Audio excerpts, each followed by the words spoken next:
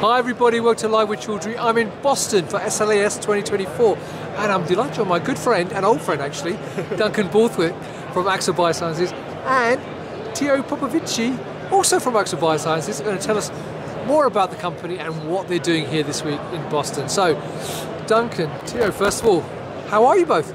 We're doing really well, really well. A bit jet lagged, but we're really enjoying the show here today. well, I'm waiting for it to hit me a bit later on, actually. So, uh, apart from that, though, we're into the afternoon of day one. How's it gone so far? Today's been really good. Um, SLAS is, I think, quite unique because it's got such a mix of industry and platforms and a lot of the right people you want us to talk to. So it's a great place to meet new and old friends. Fantastic. Well, look, for people not familiar with Axol Biosciences, though, who are you and what do you actually do?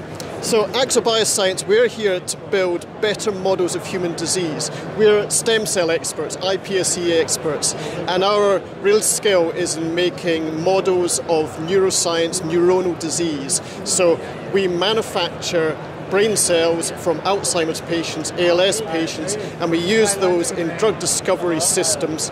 We provide the cells as products, but we also do service work. So we, in, in the true spirit of partnership, people come to us and say, "What can we? Can you help us out? We've got compounds we want to test on these new systems." So that's what we're here to do. Anything just to be helpful in the world of stem cells. Fantastic. And uh, this week uh, in Boston SLAS, is there anything specifically you're focusing on want to showcase to visitors?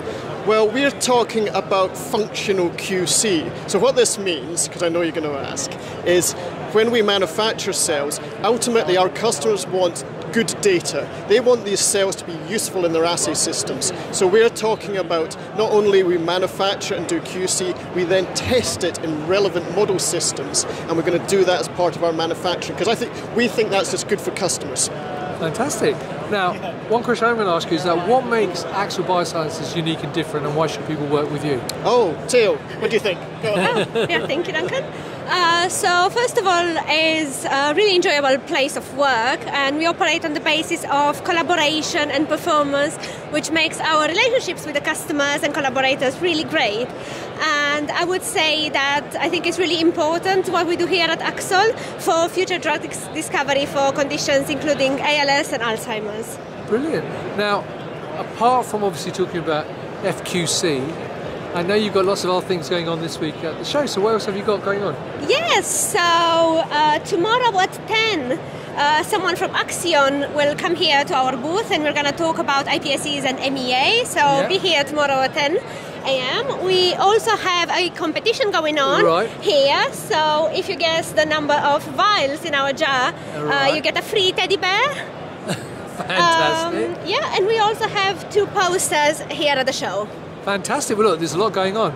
So there you go, viewers. If you're here at SLAS 2024, come and visit stand 224. 224, yes. Very good. and uh, come and talk to Duncan, Teo, and the rest of the team on the booth. Check out their posters. The link, the poster titles are actually above the video, so you can see them in the numbers. And also, make sure you come here tomorrow morning and see Axion as well on the booth. And also, don't forget to enter the competition to win a teddy bear. So there's loads of stuff going on. So come and talk to Duncan Teo and the rest of the team. Um, so, Duncan, genuinely it's lovely to see you again, my friend. Teo, it's lovely to meet you as well.